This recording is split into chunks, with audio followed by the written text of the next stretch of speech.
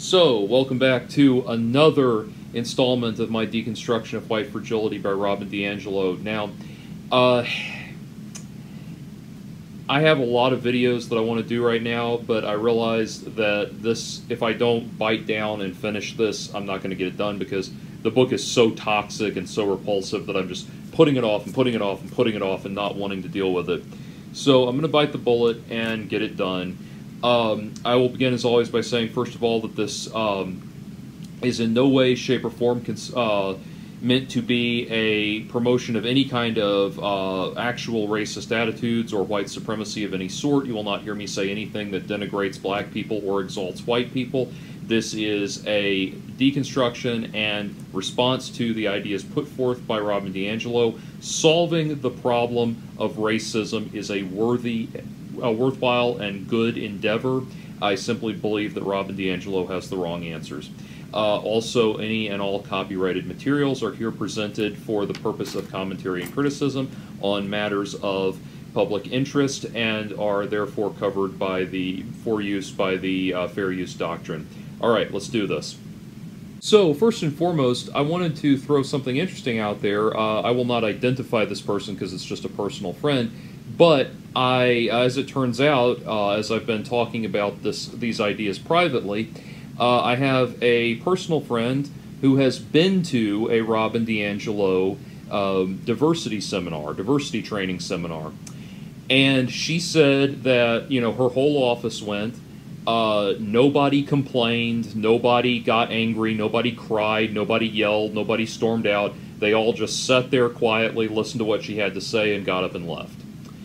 So uh, that occurred to me that there might be this, there, there might be a certain, you know, the, the question that comes to my mind rather is of all of these experiences that Robin DiAngelo is talking about from her own personal experience, as, uh, assuming they all factually occurred, which I'm not suggesting they didn't, I'm saying assuming that's uh, correct. What percentage, I wonder what percentage of her diversity lectures actually resulted in these ca- catastrophic events that she's describing where people are, uh, you know, slamming books down and getting up and yelling at her and storming out of the room and crying and arguing with each other and, you know, verbally fighting with each other and having panic attacks and anxiety meltdowns and all of this stuff. I wonder how much of that actually occurred. Because the thing is, if it were, uh, if it were a constant thing, if it was just total and complete uh, pandemonium everywhere she goes, she wouldn't be able to get hired at all, most likely. So then something else occurred to me. um, I noticed that Robin DiAngelo is 63. Now, in her book, she says that the events that prompted her to uh, cobble up the idea of white fragility, quote unquote, occurred at diversity seminars she was a part of right out of college, right after she finished college. Now, if she's 63 years old, that means that right out of college was probably around 40 years ago. And that's worth considering because uh, several generations have grown up in that time. Uh, the world has made tremendous steps forward in terms of race relations. Things have gotten demonstrably better. That's you know I'm 30. I'll be 37 in September, so that's basically the window of my lifetime. Things have gotten better. I've lived through things getting better, uh, all the way up to and including electing the first black president. So that's something I think is very very worth considering. Think about the attitudes. I mean, you're talking early 1980s. You're getting you're coming you're coming out of the Mad Men generation into the me generation, what, what will become the Reagan decade and everything, it is a more arrogant time. It is a more machismo time. It is a more, uh, a far less politically correct time, for better or for worse. So it seems like, yeah, 40 years ago, she probably did encounter things like this. And that's worthy of consideration. It's one of those things where um, I was just watching a thing on YouTube about 1984, and they talk about. Well, I, am not saying that Robin DiAngelo is doing this intentionally. I think it's an unintended consequence of what she's doing. In 1984, the book, they talked about uh, one of the things is that the party is trying to erase time. They're trying to erase time and create a constant now. Because if you have no sense of past or future, if you're just in the present moment, you're much easier to control. And it occurred to me that that is very much what's going on with, you know, there's no timestamps in White Fragility for what she's at, what, when these things happened. We don't know if this happened in, you know, if she's describing something that happened, the, the meltdowns and the, the uh, fighting at, at her seminars and everything. We don't know if that's something that happened in uh, the early 1980s or in, uh, you know, the uh, late 2000, you know, the late uh, part of the first decade of the 2000s. I believe it was 2011 the book was published. So, like, you know, 2009, it could have happened in 2009, it could have happened in 1982. We don't know. And that's really interesting and really important because there's really, I, I don't think anything, or there's no timestamps given. Uh, for when certain things were happening, and it doesn't. I, I don't think there's really a lot of uh, reference points in terms of events like I could be wrong, but you know, I don't think there's a lot of things like, well, this happened right after this event. You know, the the O.J. Simpson verdict or or the Rodney King beating or something like that, and then this happened. There's n- there's not a lot of reference points like that. So we know. I, I think we're given kind of a slip in terms of what's happened here because we're led to think that everything she's. I think we're allowed to think that everything she's describing happened 10 minutes ago. You know, it happened like a year before the book was published or something and uh, really she could very that's that's like one of the very few timestamps she gives. So she really could be describing events from about 40 years ago uh, and trying to act like it's cur- they're current. You know to put that in perspective um, it would be um, uh, it would be wholly irresponsible to present medical information about the AIDS virus or the HIV AIDS uh, virus from the early 1980s, back when they didn't even know it was a an STD, and they, you know, one of the leading theories was that it was uh, the result of um, uh, speed usage.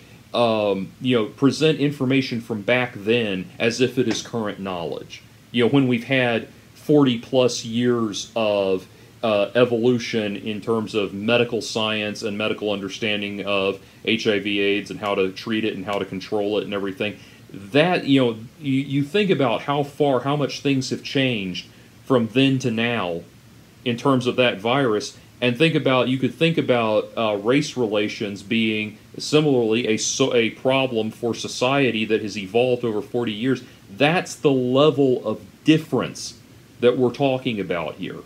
So that's something very important to consider. Now let's jump back into the book. People and a key aspect of challenging these messages is to identify their differences and how they shape my attitudes toward various groups of color. Further, there are myriad groups within these categories, and I have different attitudes here too.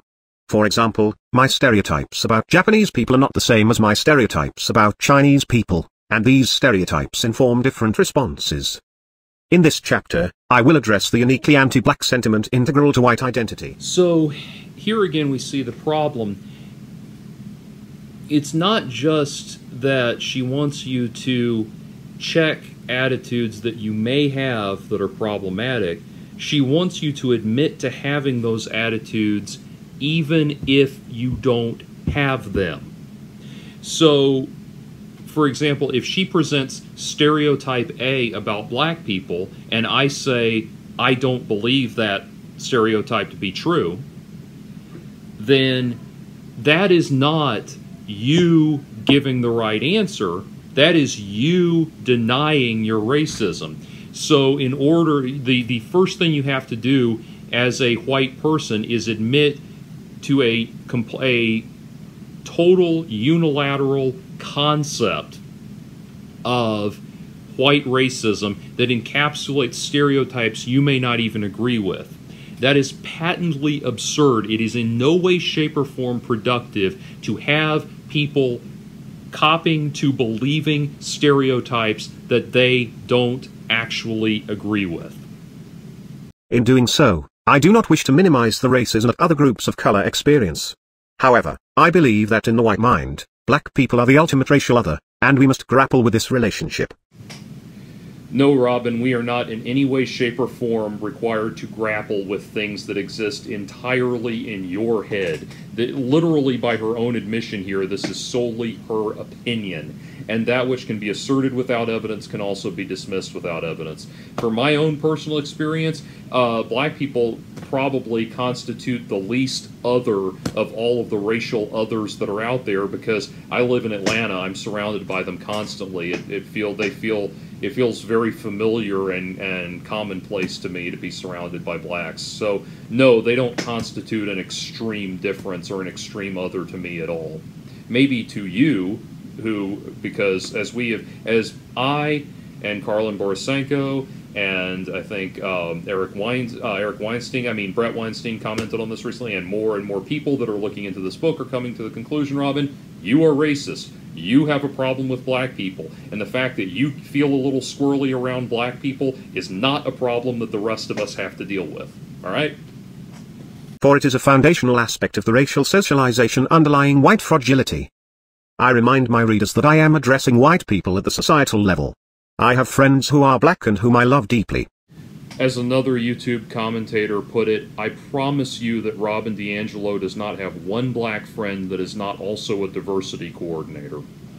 I do not have to suppress feelings of hatred and contempt as I sit with them, I see their humanity. But on the macro level, I also recognize the deep anti-black feelings that have been inculcated in me since childhood. These feelings surface immediately, in fact, before I can even think, when I conceptualize black people in general, the sentiments arise when I pass black strangers on the street, see stereotypical depictions of black people in the media, and hear the thinly veiled warnings and jokes passed between white okay, people. Let's set aside the fact that it's becoming increasingly obvious that this is just uh, a bunch of uh, crap that she's projecting onto the rest of us because she herself is insecure around black people. And look at what she actually said there. So she has these automatic responses that enter, there are these automatic thoughts that enter her head as soon as she sees black people. Okay, so what? Does your brain stop working?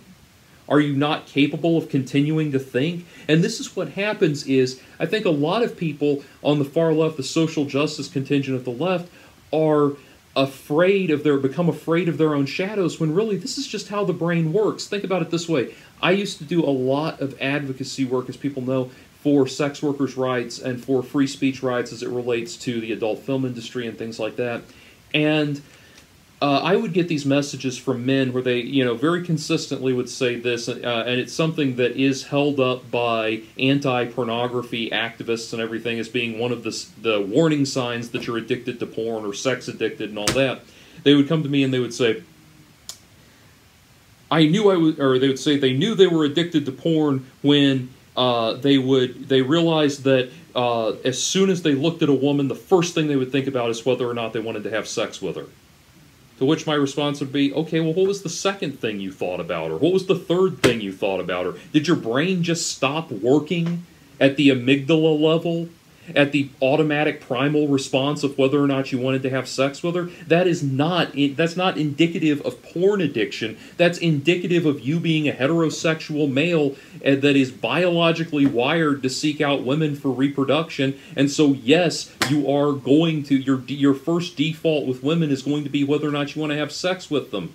But that is not is not the totality of your thought process. You know, if you are, for example, uh, someone like, I, for example, I truly think that Donald Trump does think the the full extent to which Donald Trump thinks about women is whether or not he wants to have sex with them, which is why he's so you know erotically enamored with his own daughter, because uh, he I don't think he can perceive how creepy and disgusting that is, but uh, you know, if if that's as far as you can think, if you're one of these cavemen types like he is, that that's as far as you can think, and you can't uh, comprehend anything further than that, then yeah, that might be a problem. Then you might be a predator. Then you might be a uh, misogynist. Then you might be a sexist pig. Yes, but if you are a normal functioning human being, you have the ability to continue to think and continue to evaluate that person. So, uh, you know, okay, you think the first question is whether or not you want to have sex with that girl. Okay, now continue evaluating her character. Decide if decide uh, based on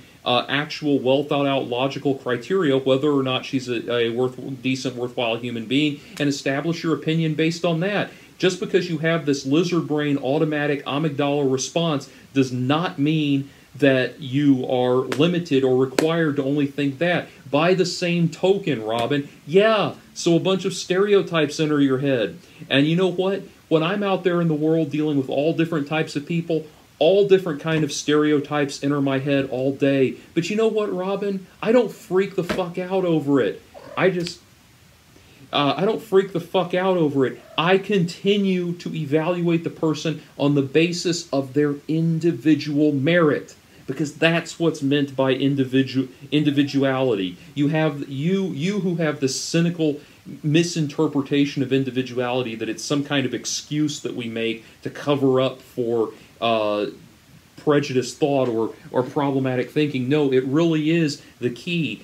So you have a prejudiced, stereotypical thought into your brain about somebody. Will continue getting to know that person as a person. Be continually uh, pulling out of them all of the traits and all the characteristics that are going to dispel and disprove that stereotype in your brain. And if you meet somebody that actually does embody that stereotype that you jumped to in the first place, that doesn't mean that you are having a problem with how you perceive the world. That person might well just happen to embody all of the traits of that stereotype. That it it's inevitable with 7.8 billion people on the planet that you're eventually going to uh, run into somebody that does. The cat's in heat. She needs lots of attention. Anyway, the point being, that is what we are getting at here. That that's the thing. Think. Don't be terrified of the first thought that enters your mind. Just because those thoughts enter your mind, those knee-jerk responses enter your mind, doesn't mean that there's anything wrong with you. Think of it this way. A wo- imagine a woman that's been raped. She's terrified of every man she looks at. Would you say that there's something uh, would you say that she hates men or she just has this automatic ingrained response that she needs to she needs help with that's all it is and uh, that's that's what this is too this is not indicative proof that there's something wrong with people or that people are bigoted. It means that they just have these automatic responses and then they continue to think. They continue to evaluate people. Okay, it it, it absolutely uh, it, it absolutely can be done. And we can accomplish this. As, as human beings, we can do this. We do it every day. So, again, no, this is not indicative of a problem. It is indicative of the far left social justice radicals being scared of their own shadows because they don't understand how the brain works. These are the deeper feelings that I need to be willing to examine, for these feelings can and do seep out without my awareness and hurt those whom I love. As discussed in previous chapters, we live in a culture that circulates relentless messages of white superiority. These messages exist simultaneously with relentless messages of black inferiority. But anti-blackness goes deeper than the negative stereotypes all of us have absorbed, anti-blackness is foundational to our very identities as white people. Whiteness has always been predicated on blackness. As discussed in Chapter 2, there was no concept of race or a white race before the need to justify the enslavement of Africans. Creating a separate and inferior black race simultaneously created the superior white race. One concept could not exist without the other. In this sense, Whites need black people, blackness is essential to the creation of white identity. Okay, that's bullshit for a couple of reasons. The first of them being that uh, the West African slaves that were shipped over to work as slaves were not the only group being used uh, for slave labor. The British were also sending over captives from the British Isles, and the Crown was sending over debt prisoners. So the idea that slavery in America was exclusively a concept was a concept exclusive to blacks is bunk. Therefore, the idea that creating white people were necessarily, or the concept of white people was necessarily codified around the idea of subjugating specifically black people is ridiculous. Now, some people will debate the idea that there were white slaves during the colonial slave era uh, by saying that those people were actually indentured servitude, uh, were actually indentured servants, or something to that effect, uh, or were otherwise uh, not subjected to, say, to chattel slavery, the chattel slave trade in the United States. To that, I would say that uh, you are making an extraordinarily weak argument because ask any person that has had their uh, their freedom taken away from them and been forced to do manual labor against their will whether or not they think they're a slave. And I think the answer is going to or how they feel about that rather. And I think the answer would be much much different. You know oh don't worry we don't categorize you that way so your situation is not as bad.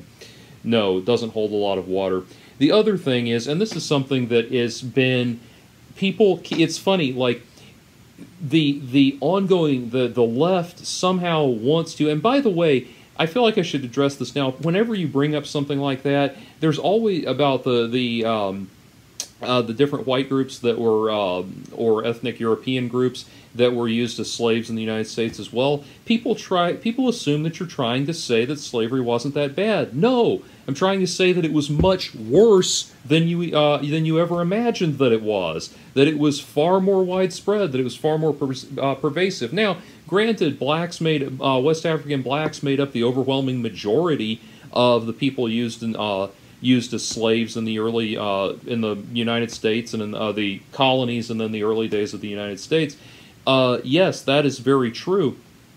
But uh, they also, again, they also used uh, people from the British Isles. They also used um, Native Americans and other groups. So it's not it, it, the idea that it was expressly created to establish a line in the sand between white and black is historically erroneous. The other thing is, and I, it's weird, it's like this is one of those arguments that just gets ignored altogether. They just won't talk about it. You know, and uh, that is the argument or the point, the very true point. That's and this is again, this is not negating the severity of what happened in the United States at all. It's just a reality that needs to be discussed and acknowledged every culture throughout history has practiced slavery at some point. Period.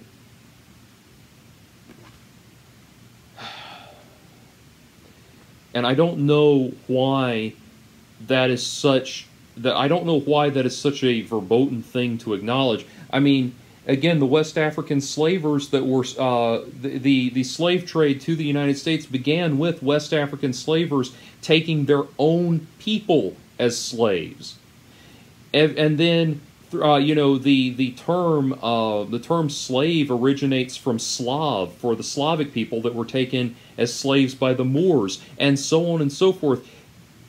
Slavery has been practiced throughout human history, the United States did the radical thing of fighting an internal war within its own splintering, uh, with uh, factions of its own splintering self to end slavery, became and became the worldwide gold standard for ending the for ending slavery. Ushered in a new era where slavery was seen as the vile, inhumane, un um, unacceptable practice that it is. But the very idea that the, this this idea that she's trying to build, this idea that slavery somehow began with white people enslaving blacks in the United States, specifically uh, that that that was somehow that that it's not. It is an a dark, sad, tragic, and unfortunate and uh and um I think in many ways unforgivable time in our history, but in the grand scheme of the human race, it is not a unique time in history at all. It was just business as usual for the uh, for the human race. What makes it different is that we fought that civil war to end it. That is what is revolutionary. That is what is special about it. Scholars have argued that whites split off from themselves and project onto black people the aspects that we don't want to own in ourselves. One for example, the white masters of enslaved Africans consistently depicted the Africans as lazy and childlike, even as they toiled at back-breaking work from sunup to sundown. Today, we depict blacks as dangerous, a portrayal that perverts the true direction of violence between whites and blacks since the founding of this country. Okay, so this needs to come out very carefully. I am not in any way, shape, or form going to try to uh, give any credence to the notion that blacks are inherently violent or anything like that. That is not what I am implying here at all. That is not what I'm suggesting. However, what she need one thing she needs to uh, be corrected on is the idea that uh, violence only goes in one di- has only gone in one direction in this country. Violence has gone in every direction in this country at different times, and indeed, the majority of the violence occurs within the races. The majority of racial, the majority of violence between people occurs, uh, as statistics have shown, occurs between people of the same race. And and and I think, I mean, I think that's a reasonable assertion, given that uh, you know, if, if you uh, if you follow the logic, then that uh, people, if people are going to go to ethnically homogenous communities, then the majority of conflicts that ar- will arise, their their conflicts will arise within those communities. So the larger potentials of violence occur um, uh, internally, if you will. Uh, and again, you know, we, we know that the subject of black on black crime is something that nobody, absolutely nobody on the left or the right uh, ever wants to try to deconstruct. But that that is what the real numbers show, and the real inf- statistical information shows is that the most violence occurs within races, not across the board. And confusing stew of resentment and benevolence, for we also use blacks to feel warm-hearted and noble. We are drawn to those who cast their eyes downward in our presence the ones we can save from the horrors of their black lives with our abundance and kindness. Consider an example I often use in my presentations. The Blind Side, a hugely popular movie for which Sandra Bullock received an Academy Award. So this is actually interesting because I was in The Blind Side. Uh, I was an extra in a couple of scenes. You, I don't think you can see me. You, you definitely can't see me in the uh, crowd scenes I'm also in the scene. There's there's a scene at the end. It's supposed to be at the in the Grove at Ole Miss, which I don't know why they didn't just go to Ole Miss. I guess because it's easier to there's there's you know tax breaks and whatnot here in Georgia. But um, they recreated the Grove, and I'm in that scene at the end where uh, the SJ character runs out and like jumps up the end and everything. I don't think you can see me there. Then I'm also in the the audience in all the football scenes, which you definitely can't see me there all of the football scenes were filmed over the course of one week at one location as a private school here in Georgia, and uh, they would just to change the the teams or whatever they would redress the backstop and everything, and then give us different uh, flags, different colored flags to wave and everything. Funny thing, uh, all of the crowd noise you hear, it's actually totally silent. Like we're literally doing like that uh, when we're cheering because all of the crowd noise is then added in later. So it's a very interesting, very surreal uh, experience to see all you know hundreds and hundreds of people pantomiming, screaming and cheering silently. Uh, but all of all the football scenes were shot in one week, and uh, so I'm I'm in all of them, but you can't really see me. And after a while, I got so bored. I remember I, this is I was reading. Um, World War Z by Max Brooks was the book I was reading, and I remember because I brought that book with me to read uh, in the downtime, and eventually I got so I, I, realized like it it so does not matter if one person is in this infinite sea is not participating. So I just ended up sitting there on the bleachers way off in the distance and reading from my book the whole time, and. Um, the uh, uh, it's funny. I remember there was looking. I remember looking down at the cheerleaders see this is how little I don't I, I don't know anything about football. I didn't know anything about the the blind side, the, the the true story behind it or anything. Or aside from Sandra Bullock and Tim McGraw, I didn't know any of the actors that were involved. I did get to sit uh, in one scene. I was sitting about maybe 20 feet away from Sandra Bullock, so that was cool. But um, anyway, I remember looking at the cheerleaders. Um, the, uh, the the cheerleaders down there, and there was this one cheerleader that was uh, absolutely just stunningly gorgeous. I thought, man, she is cute. I'm gonna go like during the break. I'm gonna go see if I can introduce myself, strike up a conversation, and everything. But it turns out that was um, what's her name, Lily Collins, who was the the uh, playing the daughter of the uh, the family, the Tuohy family. So of course she was not in the uh, the actual. Uh, she was not in the the backstage uh, like the extras tent or anything. I didn't know that at the time. What was interesting, by the way, and i will get back into the, the actual video, but what was interesting was when they filmed all of the, um, to give you an idea, like all of that shit was, most of that shit would be like, it'd be like 20 minutes between takes, and so it took hours and hours and hours of the same thing. Those cheerleaders, when they filmed the cheerleaders, between takes, right outside the range of the camera shot were a row of sleeping bags, and those girls would go over and get in the sleeping bags and go to sleep between takes because it was just grueling all night, all night long shoots. Man, I mean, it was it was endurance. It was good money too. I think I made like seven hundred dollars that week or something.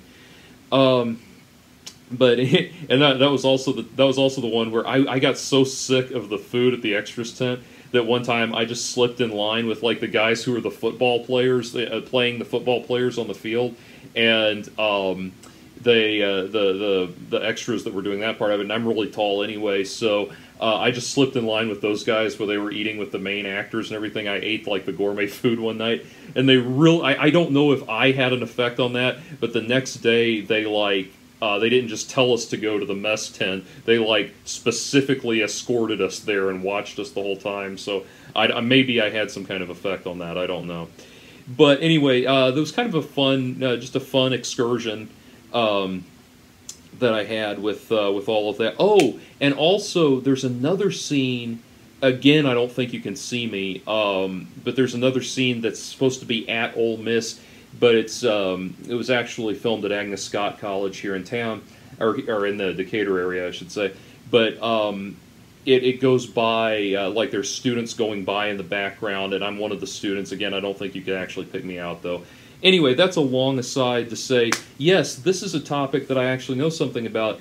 Uh, to a certain degree. The other thing that I notice, or the other thing I want to point out though, is the contradiction that Robin DiAngelo brings up here, where you know, she throughout this whole book, this whole book, she has been making the case that this uh, that uh, white people have to use uh, have a moral obligation to use their advantage advantages and use their privilege and use everything in their uh, every tool in their disposal as white people to elevate blacks because that's that, that they have a moral obligation to do that. And now she's going to just do an about face on that and complain because, uh, as she's described, she's just described it here, because these these uh, that it, that it's somehow there's something uh, white people trying to help black people is now a uh, is now also a pathology of whiteness that is unacceptable, even though throughout the whole book she has been advocating for exactly that. This film is a cogent example of whites as the racially benevolent side of the coin.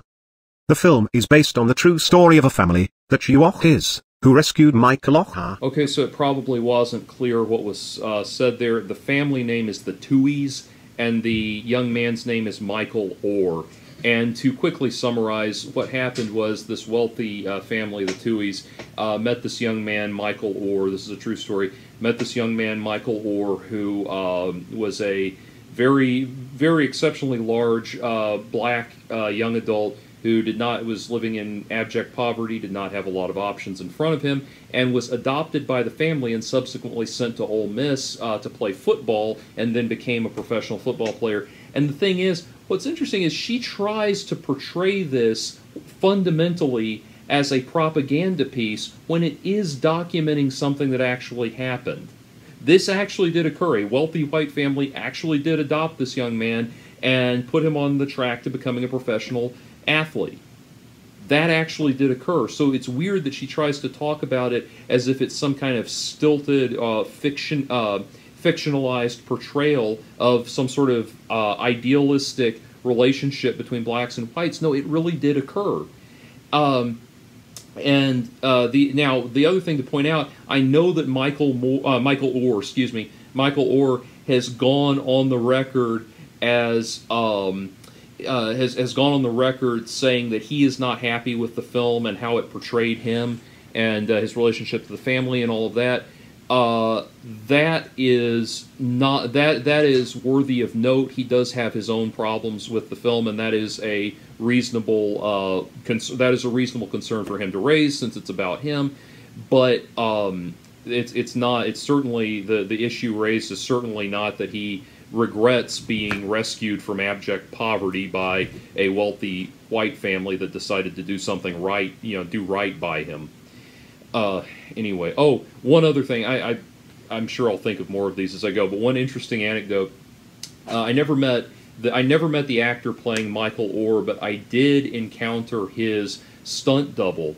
Uh, I was going into the restroom at one point between takes, and that guy was coming out, and I swear that dude was like seven and a half feet tall. I mean, I literally had to do like this to see. I and I just walked up to him and said, "I just want to shake your hand because I never meet anyone taller than me." And he just kind of chuckled and went on. So I thought that was neat. Black man who came from impoverished family circumstances and who went on to become an NFL player. Although the movie was popular with white audiences, many problematic racial narratives are re-inscribed in the film. In fact, there are no black characters who do not reinforce negative racial stereotypes. Oher himself is portrayed as a childlike gentle giant who lives in abject poverty. Sprinkled in are his drug-addicted single mother with multiple children from unknown fathers, the incompetent welfare worker, the uppity lawyer, and the menacing gang members in his drug-infested and crime-ridden neighborhood. So this is where it gets into an interesting dilemma. I cannot speak to the accuracy of the movie uh, in its deta- in the details because I um, uh, because obviously I don't know the situation personally. I don't know Michael Oher's actual story. I am sure that there was some. Um, I am sure that there was some uh, sympathetic or um, you know, benevolent or sympathetic black person that they could have brought in, uh, some character in his life that they could have brought in if they had really thought about it. Uh, I'm sure that person exists in reality. But here's the thing take away, if you take away the, stop and think about what's actually happening here. If you take away the racial component of this story, there would not be any um, th- there would not be any issue with uh, the quality of people that are being presented. And what I mean by that is, imagine if it's all about white people. It, the the whole thing is entirely white. Michael Oher is white. The the the Tuohys are white. Obviously, Michael Oher is white, and all of his family and gang members, everything he's everybody he's surrounded by, they're all white. At that point, uh, there would not be any at, at, that point there would not be anything for Robin DiAngelo to glom onto. For example, uh, you would not have any. We would we would be able to acknowledge the the actual moral reality of the situation. That uh, Michael Oher's mother now, she of course, with the success of the movie, has been able to pull her life around, and she, I acknowledge again that I know she disputes part of it, parts of it, but speaking in and of the situation itself, the drug addicted single mother that has seven children by seven unknown fathers, if she had been white, we would have no trouble calling that out as a bad situation. Uh, we would have no trouble calling her out as a moral degenerate whatsoever. What Robin DiAngelo does is she ta- uh, she takes it from being a story about poverty and forces the issue poverty versus wealth and affluence. She takes it from that and forces the issue of race. Now, again, I have to emphasize this is based on a true story. If they're going to tell the true story that happened, they can't decide to portray Michael Oher as white. He, they have to. They, these are the ethnicities of the people that they're recreating. So what she's doing here is taking a movie that is about the movie is about poverty. At no point in the movie does it say does it make an express over an overt expression of white good black bad or anything like that. It is a story about one person rising out of poverty. And that you know that's the central thing. There's a a uh, a breakdown. There is a point in the movie, and this, is kind of a spoiler, but the movie's still worth watching, obviously. Um, there's a point in the movie where uh, Michael Oher is being interviewed for um, a he's being interviewed for a an Ole Miss scholarship, and the person doing the interview uh, scholarship to uh, play at Ole Miss to play football for Ole Miss, and the person doing the interviewing says, "Okay, here's what we're concerned about. The Tuohys are alumni of Ole Miss. They see they attend." Uh, Ole Miss football games regularly. They have season passes every year. You know, season passes purchased for the next decade or whatever. They are fans of Ole Miss. What we're afraid of is wealthy, affluent family, wealthy, affluent uh, families adopting athletes and pushing them through the system, or pushing them into Ole Miss to to create legacies for themselves, to uh, to in, you know inf- unfairly influence the team and that kind of thing. And at that point, Michael Oher has this. Uh, he has a sudden realization of, oh my God, what if the you know what if that's all this family was doing for me, and all of the love and support they've given me was all just a charade, you know, that they really just wanted me to go to Ole Miss and be their legacy, you know, their their their legacy player that they contributed to the team and everything. And they have a, he has a big falling out with the uh, Mrs. Tuohy, the Sandra Bullock character. I can't think of first names right now. Uh, Mrs. Tuohy, the Sandra Bullock character, and she um, they finally have this uh, reconciliation where they sit down and she says, "I will support you in." whatever whatever in you know whatever team you want to play for that's totally fine. You you don't have to play for Ole Miss if you don't want to.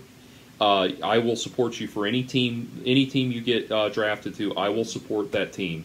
And he says what if I want to flip burgers? And she says it's your life. You have to decide what you want to do with it. And the point being that this is a movie about being lifted out of poverty. It is not a movie that is seeking to demonize uh, black uh, black people. They could not, they could not portray based on this true story. They could not have portrayed Michael Oher's situation any other way. It's as if Robin DiAngelo. It's it's as if Robin DiAngelo thinks that.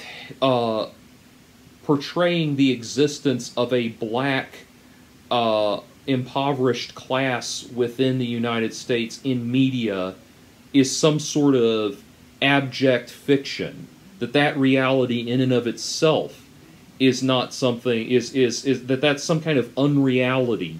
That that's so totally prop, uh, propagandized. And uh, I mean, I can tell you it's not. If you're in Atlanta, go down to um, take I exit uh, take I 75 80, 85 south to exit 244, get off on University Avenue and drive around for a while. The, the situation that Michael Oher was living in exists. It's real. It's there. Conversely, the uh, the situation as I've mentioned before, what I should also point out, what is also uh, prevalent in Atlanta is a tremendous amount of black prosperity, and in that case, you know, you can. Um, there's a tremendous. I know there's a tremendous amount of. Um, uh, I, I, I want to say black affluence or, or black community affluence uh, south of the airport. There's a whole hub of it down there, and then also up north of uh, up north of Atlanta in the what's normally thought of as the hoity-toity uh, district in you know East Cobb and Roswell and all that. I'm in that the the Marietta area right now. I'm not living in in uh, you know, I'm not living in affluence, obviously, but it's all around. Anyway, the point I'm trying to make is it's like she thinks that black poverty is some sort of complete fiction that we've made up while at the same time refusing to acknowledge that there's blacks that are doing better than poverty. It's like she it's almost like it's almost like she thinks of black people entirely in the hypothetical and that any attempt to discuss uh, the black situation in the concrete is a manifestation of bigotry, not an attempt to identify problems and move towards solutions. One pivotal scene, Oher returns to his former neighborhood. As he walks down the street, he is surrounded by a gang that tries to intimidate him while he considers his limited options. Mrs. Tuohy arrives and confronts the gang members, who quickly back down and retreat. Rescued by Mrs. Tuohy, Oher is returned back to safe white suburbia. The scene makes it clear, the only way Oher could be saved from the terrors of his own black community is through the benevolence and bravery of a white family. Again, that was the situation that Michael Oher was actually in. This is not a, a this is not a fiction drawn out of a desire to propagandize a particular point of view That was very much the re- now. Don't get me wrong; it's not a perfect portrayal of reality, as we'll get into, but that was the overarching nature of the reality that he was in. And again, as I come back to it, the idea she has gone on and on through this book that white people have to use their affluence and their uh, social status and their uh, their wealth and their ability and all of that to help uh, blacks. She keeps grinding that home over and over and over again. And then when they actually do, that's also a problem. This book has no consistent message. It's just whatever you think is wrong. That's all it is. She's it's like she's literally just come up with a compendium of arguments uh, arguments about uh, against racism and gone through each one and said, "Oh, actually, you're guilty of that too." And if you don't, if you don't admit to being guilty of it, then you are uh, proving that you're guilty of it. That's all she's doing. In the film, white professionals discuss Oher as if he were developmentally disabled. He certainly comes off as such. He is passive and inarticulate throughout the movie. His teachers note that on his IQ test, he scored in the bottom percentile in ability to learn but in the top percentile in protective instinct. As a professor of education who has never heard of a test measuring protective instinct, I have been unable to find evidence of this bizarre measurement. It is highly problematic that Oher, as a black male, is portrayed as severely lacking in intellectual abilities but exceptional in something instinctual. His limited intellectual capacity is reinforced throughout the film. For example, when the youngest child of the Tuohy household has to teach Oher how to play football. According to the film, Oher is never able to understand the rules of the game, so Mrs. Tuohy appeals to his protective instinct by telling him to pretend one of his new white family members is going to be hurt. Once his instincts are engaged, rather than his intellect, he is unstoppable on the field.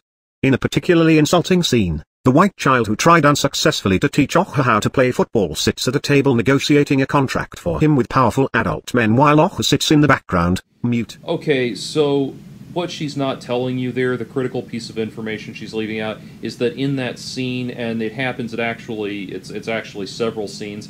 The character SJ, the little boy, is negotiating the contracts because uh, the um, early on in the negotiations, one of the um, uh, scouts uh, turns to SJ and says, you know, and what are something like, what are you hoping to get out of this? And a kind of light bulb goes off that he can try to get as much uh, swag and as much attention and as much, um, you know, it, just kid wish fulfillment stuff as he possibly can out of these negotiations. And that's why he's sitting there doing the contracts because he's trying. To, it's it's just a comedic thing. He's trying to portray it. He's trying to get as much money or as much. Um, as much out of it for himself as he possibly can. It's just a comedic through line throughout the movie. That's why everyone is sitting there mute, including the Michael uh, Michael Oher as he's portrayed in the movie. They're all sitting there mute because they're all like, "Who is this kid? The, you know, this this precocious kid that's just dominating the discussion." That's all it is. And she's complete. It's like.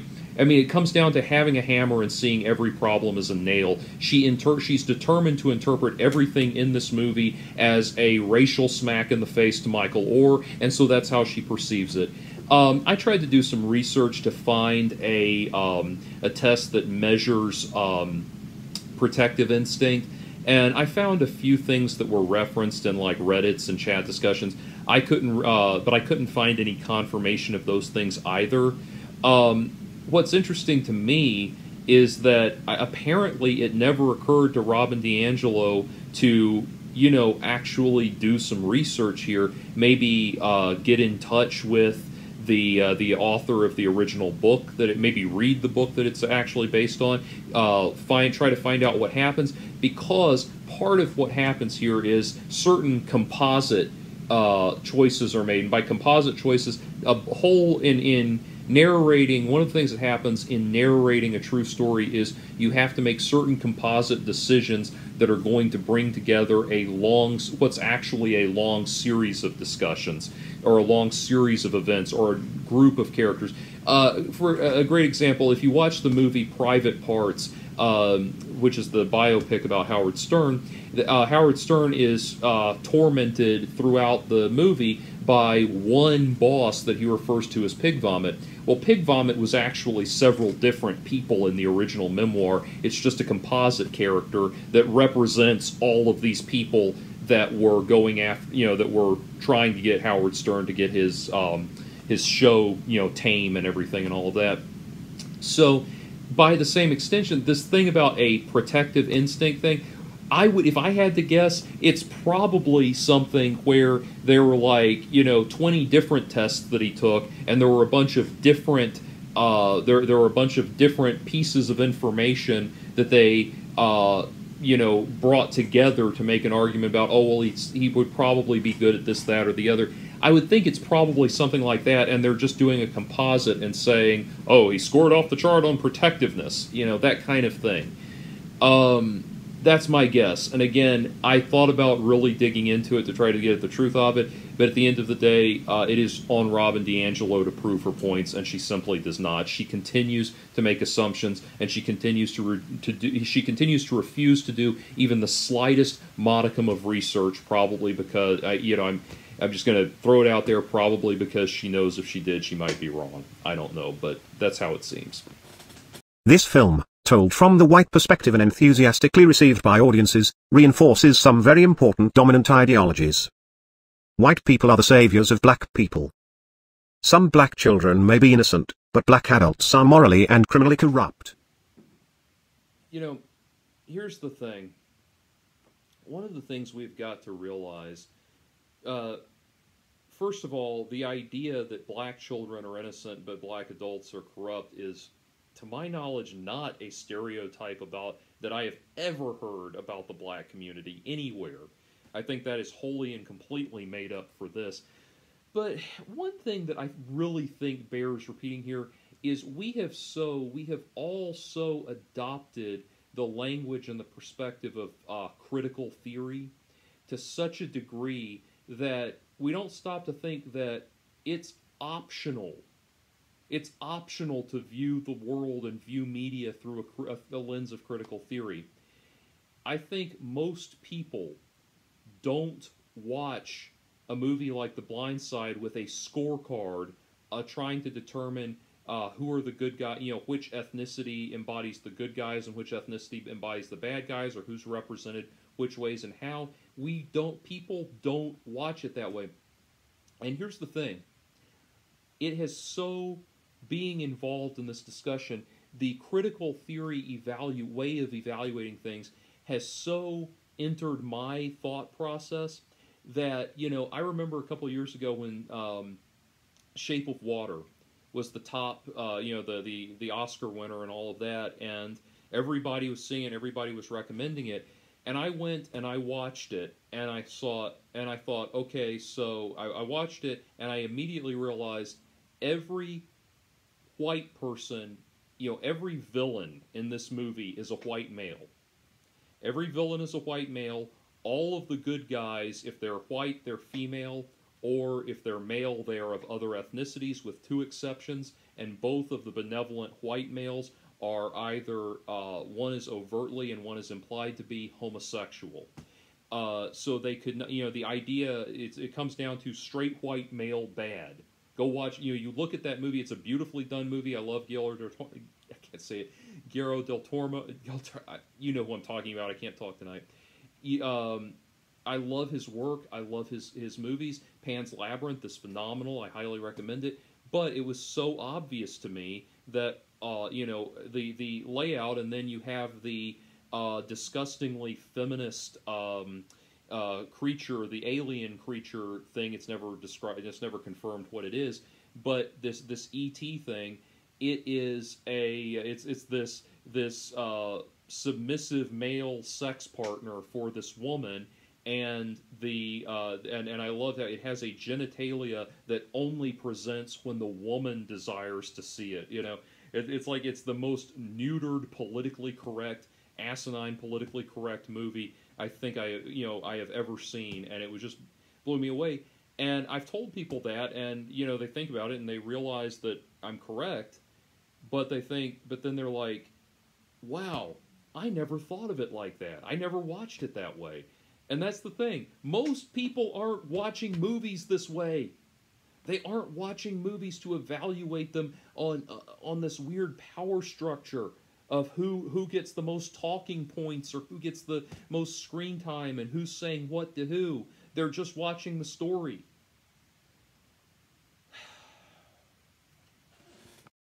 Whites who are willing to save or otherwise help black people, at seemingly great personal cost, are noble, courageous, and morally superior to other whites. Individual black people can overcome their circumstances, but usually only with the help of white people. Black neighborhoods are inherently dangerous and criminal. That is not a statement that is made in the movie. They are portraying the environment that Michael Oher came out of. Virtually all blacks are poor, incompetent, and unqualified for their jobs. They belong to gangs, are addicted to drugs, and are bad parents. The most dependable route for black males to escape the inner city is through sports. White people are willing to deal with individual deserving black people, but whites do not become a part of the black community in any meaningful way, beyond charity work. 11. Of course, Oher also brings redemption to the whites who save him. The film ends with a voice negation over from Mrs. Tuohy, a Christian, claiming it was God's will that this boy be saved, presumably because his talent on the field made him more profitable and thus valuable to white people. The Tuohys, of course, are the good whites, who have to deal with the prejudice of the individual bad whites they encounter at the country club and other places. In this way, the racist equals bad, not racist equals good binary is also reinforced. Jesus Christ, Robin, the world is not operating off of your criteria. No, it is not reinforcing this thing you call the racist equals bad, not racist equals good binary. Also, by the way, Robin, by portraying the Tuohys as morally separate from the bad whites, they are acknowledging degrees. Uh, they they are.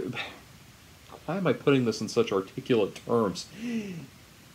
They are not portraying white people as inherently the saviors of blacks. They're portraying the Tuohys as the exception to the norm.